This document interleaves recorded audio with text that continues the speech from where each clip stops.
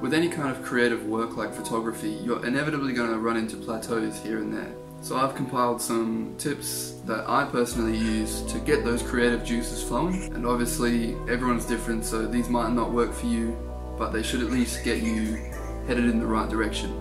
Most of these tips are going to be focused around portrait photography, but you can take the general concept and apply it to your area. First, just take a step back. Inspiration can be tricky. You never know when your next idea is going to hit you. It could be anytime, anywhere. So it's important to just take a break every once in a while, especially when you're feeling burnt out, and uh, just get refreshed. Go outside, go to your local park, uh, just sit and observe. You can listen to your favorite music or listen to some music you've never heard before. You can't just brute force your way into creativity. It's something it's something you need to let it come to you. And when you get an idea, write it down. Make sure no matter what, a notepad and pen, your phone, a computer doesn't matter. But if you write it down, you will never forget it.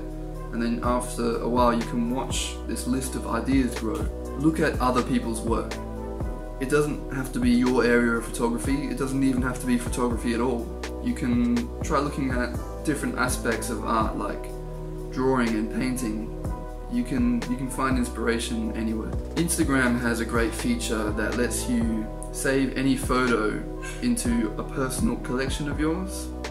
You can create multiple categories for organization and you can tap and hold the button to put the image straight into one of these categories.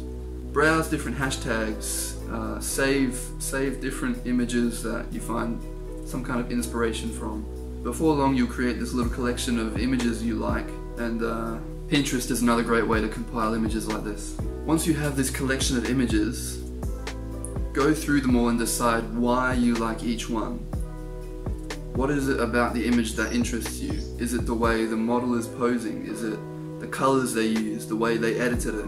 And be specific. Make a Google document of all of the individual aspects that you've liked and go over the list and see if there is any individual aspects that you could combine together to create your own original photograph.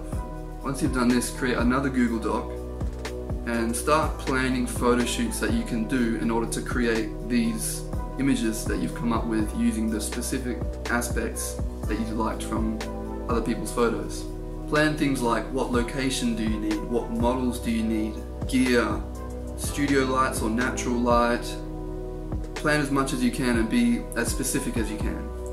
Now you've got a list of your own original photo shoots and you can keep adding to this list and you'll before long you'll have a big list of all of this all of this creative juice. Get out of your comfort zone. Being comfortable with what you know in any creative media and no longer challenging yourself to kind of advance and grow can easily lead to becoming stagnant and feeling like you've hit a plateau.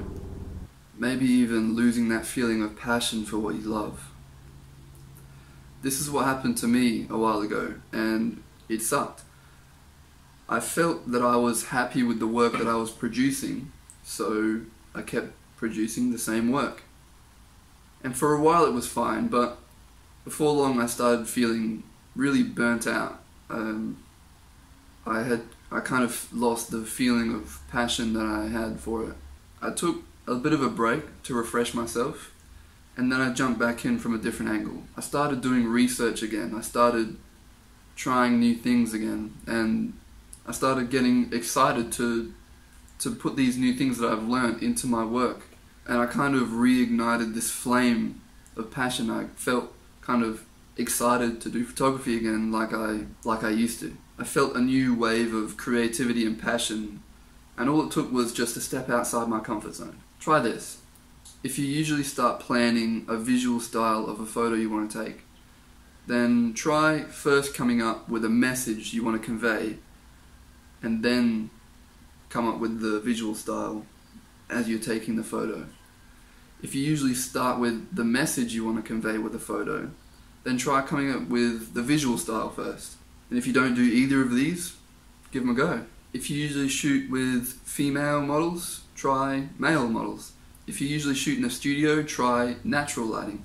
If you usually shoot with a 50mm lens, try an 11mm lens.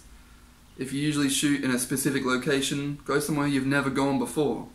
Just keep trying new things all the time. Even the most talented and professional photographers can learn something new. And there is always a photo that has never been taken before. Take those photos. And those were my tips for breaking through your creative plateaus. I really hope there was something in here that helped you, and remember, no one tip is going to work for everyone. So do lots of research and find the ones that work for you. Thanks for watching.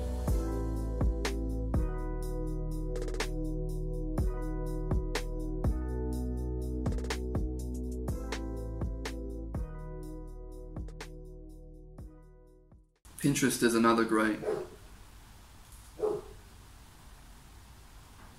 Pinterest is another great way to compile images like this.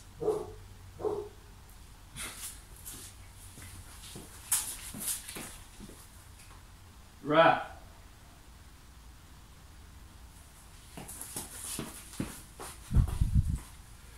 Pinterest is another great way to compile